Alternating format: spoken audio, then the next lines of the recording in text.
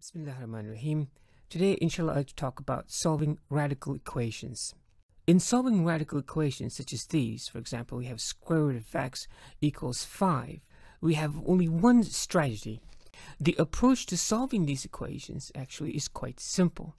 The idea is to isolate the radical on one side, and when it's all by itself like this, to square both sides like this. The idea here being that the square root of x, or anything, when that is squared, is simply x. The reasoning for this, of course, is that if you have square root of x, and then you square this, this basically means square root of x times square root of x. And that is square root of x squared, because you can bring both of these x's under the same umbrella, and this is simply x. So in a sense, the square and the square root, they negate each other. Kind of like division and multiplications are opposite operations, the square and the square root are opposite operations. So in this case, then we have square root of x squared equals 5 squared. And square root of x squared is simply x, and 5 squared is 25. Okay, let me give you another example. Here we have square root of x minus 4 plus 1 equals 4. Again, the strategy here, or the approach here, is to isolate the radical. In other words, get the radical here all by itself and everything to the other side. And then once we've done that, we square both sides, like this. And that's going to get rid of the square root sign. So in this case, our job is to isolate this radical. And when it's all by itself, to square both sides. Okay, well in doing so, I'm going to subtract negative 1 from both sides like this.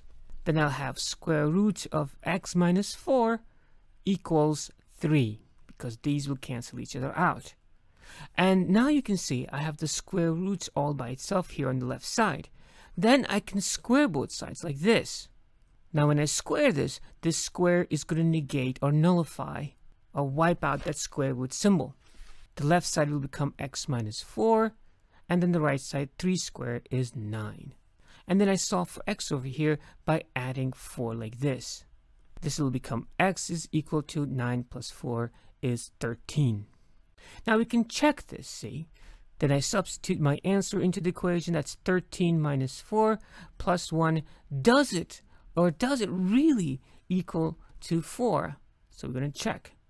Well, 13 minus 4 is 9, And that's plus 1 is equal to 4. The question mark over here. Square root of 9 is 3 plus 1.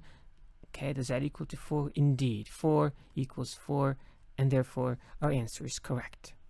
Okay, let's try some more questions. So we have 6 equals square root of v minus 2. See, you don't do anything with the 2 over here or anything like that. The idea is to isolate the radical and then square both sides. In this case, it's already isolated. It's all by itself. So we're going to square both sides like this. So 6 squared is 36. And this side will simply become v minus 2. And then I add 2 to both sides. 38 is equal to v. So v is going to be equal to 38. And that would be our answer. How about this one? Square root of 4y equals to 2. Again, the same approach. The radical is all by itself, then we can square both sides like this. Now notice I'm putting parentheses there by the 2, although I don't really need to. The reason I'm doing that is a matter of habit, because this side is not going to be always that simple. The idea is that whatever's on the left side is going to be squared, and whatever's on the right side is going to be squared. It's not going to be always as simple as a 2, but everything has to be squared.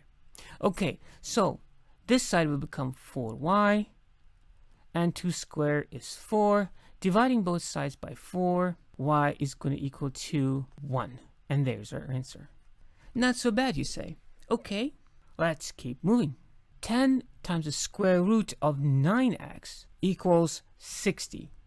Now look, the idea again was to get the radical all by itself and then square both sides. Here, in this case, we don't square both sides like this.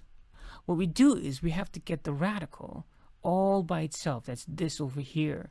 And we have to get rid of this 10. So this is 10 times the square root of 9x equals 60. So we divide both sides by 10 like this. And I get square root of 9x equals 60 divided by 10 is 6. See, now I square both sides like this. square of 9x squared is simply 9x, and 6 squared is 36. Now I divide both sides by 9 to solve for x, and then I get x is equal to 36 divided by 9 is 4. And that would be our answer. So far, so good. How about this one? Negative 8 plus square root of 5x minus 5 equals negative 3. Now again, the approach here is to get the square root or the radical all by itself and everything on the other side. Then we're going to square both sides like this to get rid of the radical sign. Now in this case, we have to get rid of this negative 8 before we do anything. We do that by adding 8 to both sides, and then we have square root of 5x minus 5 equals 5. So once the radical is all by itself, the next step is to square both sides like this. Here we get 5x minus 5 equals 5 squared is 25 and then I can add 5 to both sides like this. I get 5x equals 30, and I divide both sides by 5, and I get x is equal to 6. Okay, how about this one? The question reads negative 11 equals negative 6 times the square root of x plus 4 plus 1. The plan here is to isolate this radical sign and then square both sides. That means I'm going to have to get rid of this 1, and then I'm going to have to get rid of this negative 6 we start from stuff that's farther away from the variable and then come closer towards the variable.